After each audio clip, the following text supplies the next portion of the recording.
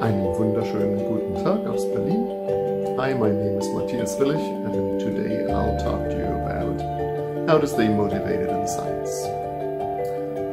How to stay motivated in science, you ask? Of course I'm motivated. This is the most awesome thing in the world after all, and that's true. However, either you have already experienced some dips in motivation or more likely than not, you will experience them in the future. I have. And I'll share with you a little sort of mental trick, if you will, that I found helped me, and maybe it'll also help you. So here is the problem, as it unfolded, for myself anyway. Um, I got into my field ecology because of the love of the big questions. Uh, why are there so many organisms there? What do they do?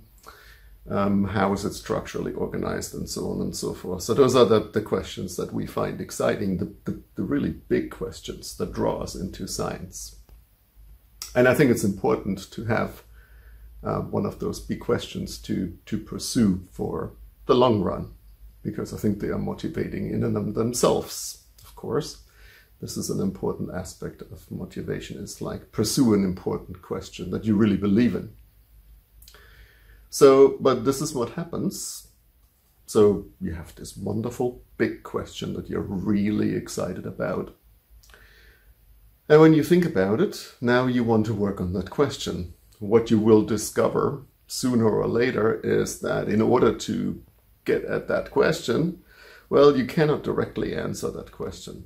You need to take that question and um, divide it into sort of bite-sized pieces. You need to break that question down into um, questions that can be directly worked on. For example, in an experiment or in an observational study or with a data synthesis, whatever the case may be. Inevitably, you will not be able to work on that amazingly big question that drew you in in the first place, but you have to break it down into smaller bits and pieces that you then work on. So now this is what happens when you then look at one of those smaller bits and pieces that you have just derived from the bigger question, then now you have to work on this. And the problem is, of course, that little question that you had to derive, that, that smaller subset of the bigger question, is inherently less interesting, of course, than the big question. And now you see how much work you have to do, how many hundreds of samples you have to process in the lab, or how many samples you have to take in the field, and the many, many, many hours of labor or processing data or whatever have you. And so this is the, the incredibly de demotivating aspect of this.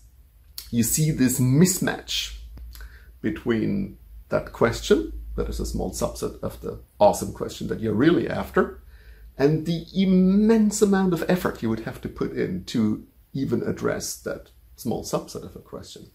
And if you compare these things at, at face value, if you, you know, if you mentally add up all the work that you would have to do in order to, to um, go ahead and answer that one question, that can be incredibly demotivating, I find. So it's like, oh no, I have to do all this stuff and then all I get to answer is like this little tiny bit of a question. Say like a chapter of your PhD or of your master's uh, degree or even later on bit of a project or something. It just seems completely unreasonable and totally out of whack and um, it can be incredibly demoralizing and, and demotivating.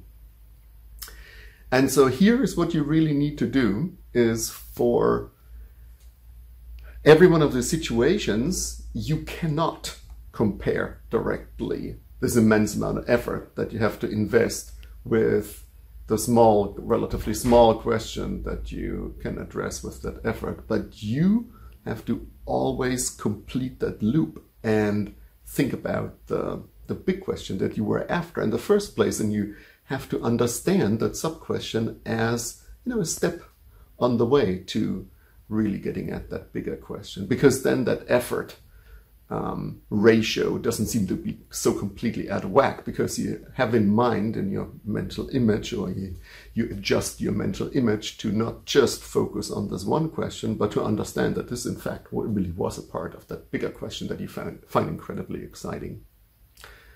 And I think that's this tip. I think, um, first of all, have an exciting question, a really important question, maybe also a question that um, is relevant to society, um, that you would feel excited about sharing it with other people. And these questions are very difficult, I think, to find. And um, and then it's also another piece of art, basically, to break it down into into practicable bits, as we, we talked about. then the second bit is to keep in mind um, when you are faced with the day-to-day -day effort of tackling some of these questions, which can be incredibly daunting, very repetitive, and um, yeah, can be derailing you if you're not careful. Um, keep in mind how they're all connected to the bigger question, and I think that will definitely help. Oh boy, that video was something, huh? So if you liked it, don't forget to hit like and remember to subscribe to this channel. See ya.